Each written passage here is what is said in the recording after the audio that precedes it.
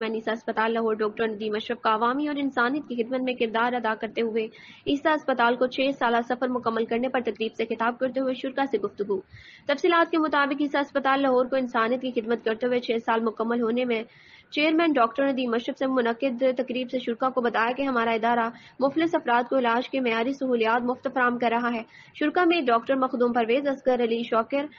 اشرف کمبو کی خصوصی شرکت ڈاکٹر ندیم اشرف نے کہا کہ حکومت پاکستان کو حل کا بجٹ بڑھانا ہوگا۔ اس وقت ڈی جی پی کا صفر اشاریہ نو فیصد بجٹ حل پر خرچ ہو رہا ہے، جبکہ بہت کم ہے پاکستان میں دس ہزار افراد کے لیے ایک سے بھی کم بیڈ دستیاب ہے جبکہ یہ تعداد بارہ سے تیرہ ہونی چاہیے دیہی علاقوں میں صحت کے سہولیات بڑھانے کی ضرورت ہے۔ انہوں نے کہا کہ ہمارا تمام کام انتہائی شفاف انداز میں ہوتا ہے۔ ہمارا اسپتال سے کوئی بھی وقت دورہ کیا جا سکتا ہے تقریب کے مہمان خصوصی اسکر علی شاکر نے کہا کہ ڈاکٹر ندیم اشرف فرشتہ صفت انسان ہے جو دکھی انسانیت کے لیے اہم خدمات سر انجام دے رہے ہیں۔